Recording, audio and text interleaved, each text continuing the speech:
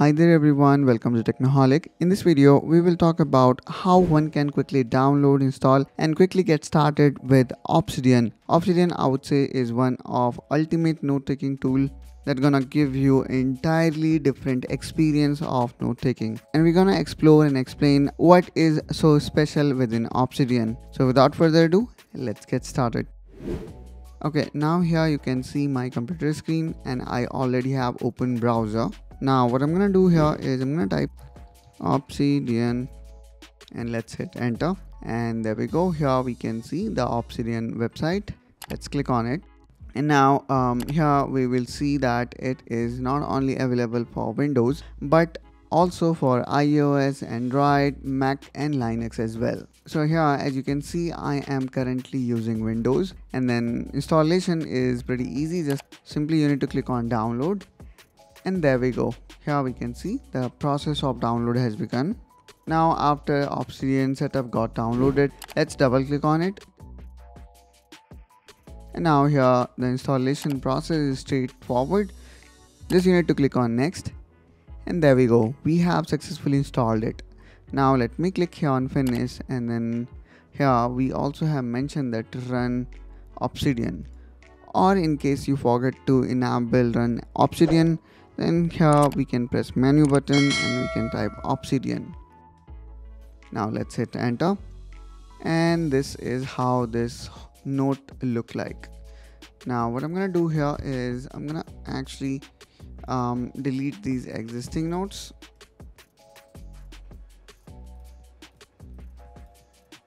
Okay so first of all what you may require to do whenever you open obsidian is to create vault and since here you can see i already have created vault. So i'm gonna go here in manage vault. And then uh, probably in your case what you need to do is um, you need to click here on create. And then here you need to give your vault a name. For example i'm gonna say my personal notes. Okay? Now here we need to locate the folder. So let me actually choose location here. So i'm gonna say um, my personal notes. And then now i have selected this folder. And now we need to click here on create. In this way guys uh, we can get started. Here you can see the welcome message which says this is your new vault. And then here it says make note of something. Create a link or try even importer. Now a vault you can consider is as a folder and now in that folder you can create several notes. So let me click here on new note. And now here let's say i would like to talk here about obsidian. So i'm gonna create this new note as obsidian. And then here i'm gonna say obsidian is an excellent platform to create notes with backlink. And in this tutorial we're to see how we're going to utilize those capabilities. Full stop some of major competitors of obsidians are onenote evernote Joplin and so on. Okay so this is what we have written here. And then obviously we can add um, necessary punctuation here. Now since i also have mentioned about onenote so probably um, let's say you know you would like to create a separate note related to onenote so what we can do here is we can add these brackets and then um, you know after we click here on onenote we will able to create another linked note. So here i'm gonna talk about onenote onenote is an excellent all-around note-taking app that gives you flexibility to create notes either handwritten or even you can create notes by typing. You also have option to audio record and so on. Now this is what we have created. Now again here let's say I would like to talk about notes. So I'm gonna again uh, keep this in bracket. And then if I click here again now here I can talk about notes. Notes are very essential tool for human being full stop as they help them keeping necessary information that is very important in their life.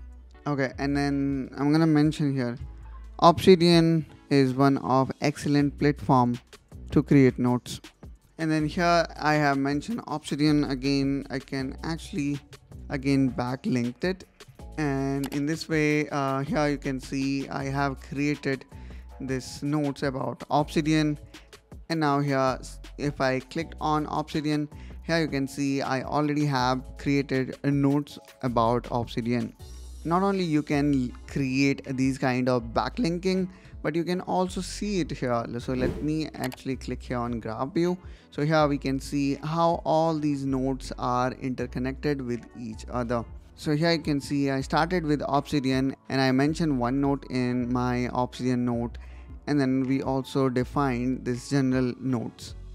So in this way guys you can also see how these nodes are backlinked with each other.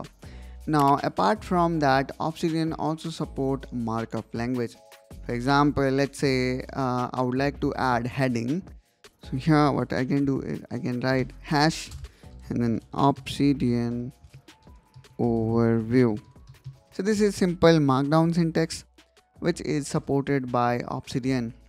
In the same way let's say you would like to highlight certain things you can again utilize this markdown tool. Um, here let's say I would like to highlight this obsidian so I can type these star around it and there we go. Here we can see we have highlighted this obsidian.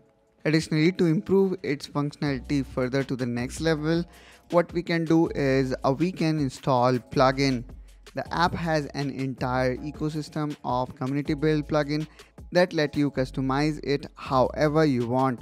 For example, you can add a daily note plugin, Kanban boards, task managers, whatever you need to fit your workflow.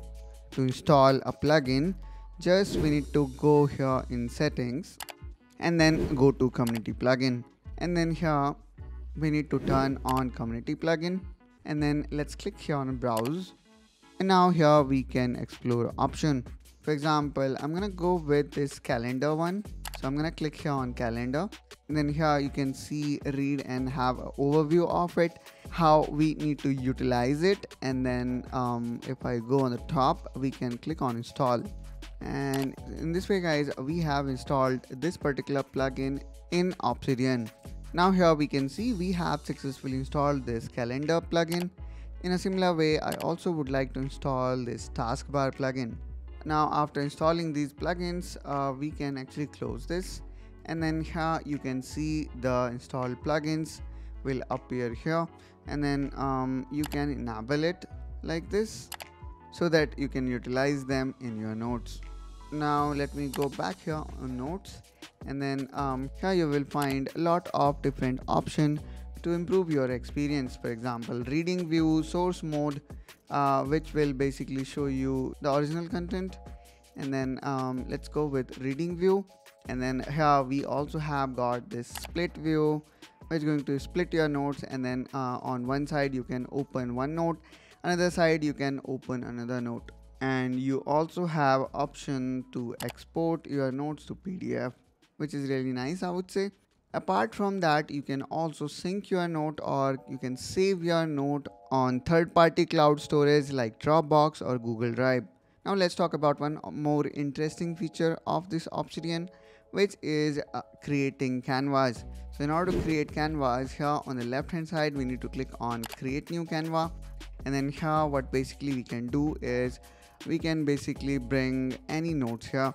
For that you can go down you can add card and then you can type inside anything uh, in this card. For example my notes. And then I'm gonna uh, connect this to something else.